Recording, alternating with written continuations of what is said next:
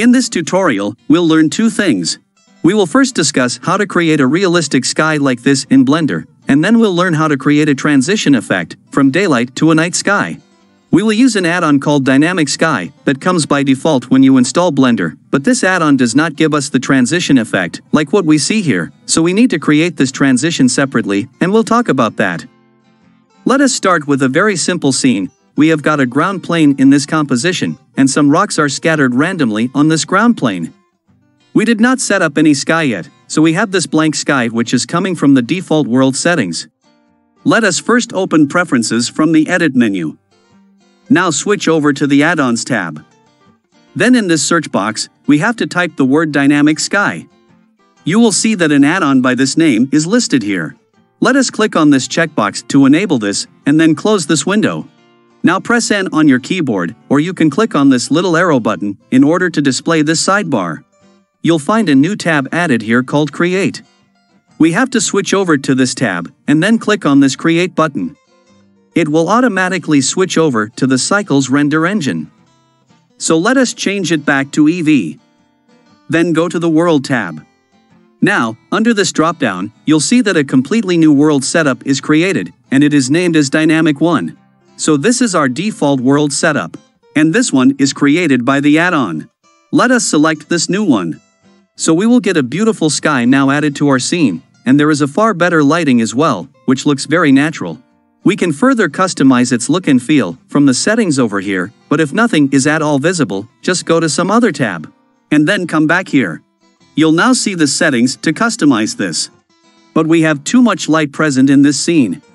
As you can see here, we have a section in this add-on for the sunlight, so it has got its own light. And we already have a sun object from our original lighting, so let us disable this sun for now. But the amount of light is still quite high. You can reduce the intensity of this light by changing this value, let us reduce it to 0.75. Now the light looks soft and almost perfect. We can customize the appearance of the sky with the help of these three colors here. This sky color determines the color of the actual sky, which is visible through the layer of clouds. And then this is the color of the horizon, which is the lowest portion of the sky, or this part of the sky. This will gradually fade into the sky color and become the actual sky and this color determines the color of the clouds. But the mixing of the horizon color and the actual sky color may not look very sharp, in fact I think it looks quite dull. Let us hide the ground plane. If we now look upward, we will see a beautiful sky color, which looks just perfect for this scene, but it is not so beautiful near the horizon, there we have a problem. You may want a clear sky almost up to the horizon point, with a very little effect of the horizon color. We can customize the overlap between the horizon color and the sky in the shader editor by modifying the existing nodes. There is no direct way of customizing this here. So let us go to the shader editor. This is the node setup created by the Dynamic Sky add-on. Let us zoom into it. We have to focus on this color ramp node that controls the mixing of the sky color and the horizon color. So click on this second handle and select it. We can control the mixing factor of the sky color and the horizon color by simply changing this handle. Let us bring it closer to the white handle. Or we can directly type a value here, like 0.1. Then let's go back to our viewport. Now we can see that there is a sharp changeover from the horizon to the sky color, and the sky is looking far more beautiful this time.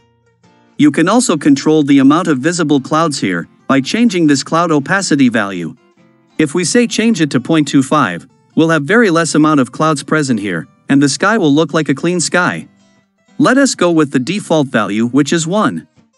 In the next step, we will create a night sky for this scene, so again click on this create button. And we need to switch back to the Eevee engine like before. Now go to the World tab, and this time, in this drop-down list, we'll see that a second entry is created, called Dynamic 2, let us select this new entry. Then switch over to another tab and refresh this tab in order to display these settings, and we'll use these settings to change the second sky to a night sky. First, we will change the sky color to a dark blue color, so this value field should be 0.1. Then, we'll change the horizon color to match with the sky color. And similarly, the cloud color should also be same as this sky color. But a night scene should not have so much bright light, so let us change the sun value to maybe 0.45. So we get a beautiful environment for a night scene, just by creating a suitable night sky through this add-on. Next, we will create a transition or a changeover from the day sky to this night sky that can be truly called a dynamic sky. But before that, if we check this dropdown, we will see that our default world entry has been removed. That is because whenever we save a file, any unused data block will automatically get deleted. So let us ensure that these are not deleted. We have to click on this shield icon, then Blender will assign a fake user for this and it won't get deleted, even if it is not used anywhere in our scene. We have to do the same thing for the day sky as well. Now, we need to switch over to the shader editor. This is the node tree, which is created by our add-on, for the sky called Dynamic 1.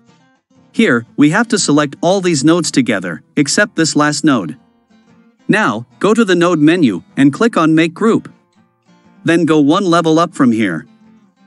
These nodes are very small, let us bring them closer to each other, and then select them together and zoom in. So this is the node group that we have just created. Let us change its name to Day Sky. Then we have to do the same thing for the night sky as well. So select all these nodes, except the last one. Then move them into a new node group. Now go one level up. Blender has clubbed the selected nodes and replaced them with one single node here, which is a node group. Like before, let us give it a better name like Night Sky. In the next step, we have to click on this cross button to remove the world settings, and then create a new world background with the default settings. And here, press A to select all, and zoom in, to bring the nodes into the visible area. We have to remove this background node completely. Then in the Add menu, go to the node group. You'll see that we have two node groups called Day Sky and Night Sky that we have just created. Let us add a Day Sky node here. And we'll also add a Night Sky node along with this. And to join them together, we need to also add a mix shader node. We have to then connect the two node groups to the input sockets of this mix shader and connect its output to the world output. Now, we can create the transition effect by animating this mix factor. Initially, we will keep this as 0, so we'll get only the day sky. Then let us go to frame number 20. We will insert a keyframe for this mix factor. Then go to say frame number 50. Let us change this to 1, so that we get only the night sky. Now insert a keyframe like before, and go to the first frame. Then, back to the 3D viewport, let us run the animation and verify it. The daylight will slowly change into the night sky. And we can also change it back from this night sky to the day sky. Let's again go back to the shader editor. First, let us go to frame number 70. We need to insert a keyframe here for the mix factor. Then we'll go to say frame number 100. We will change it back to 0, so that we get back the day sky, and we need to keyframe this as well. Now, go back to our 3D viewport, and run the animation again from the beginning. So we will see a beautiful transition first from the daylight into the night sky. Then it will change back from the night sky to the daylight.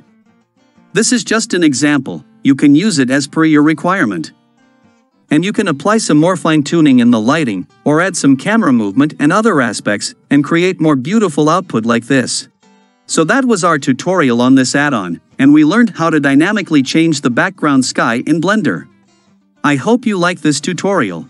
Thanks for watching and don't forget to subscribe to this channel.